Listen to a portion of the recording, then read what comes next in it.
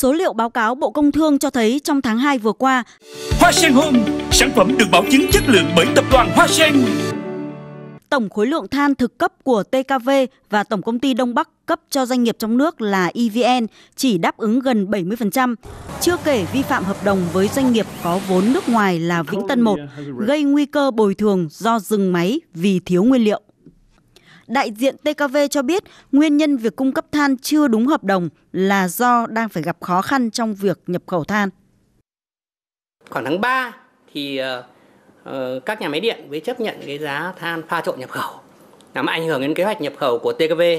Vì vậy thì là ờ, TKV cũng khó khăn trong việc cung cấp than cho các nhà máy điện. Thì chúng tôi cũng hy vọng là cái giá than nhập khẩu nó bình ổn lại sau cái chiến tranh Nga Ukraine thì chúng tôi sẽ tiếp tục nhập khẩu và chúng tôi sẽ đảm bảo cung cấp than theo đúng các cái hợp đồng mà TKV đã ký với các nhà máy điện. Chúng tôi có yêu cầu là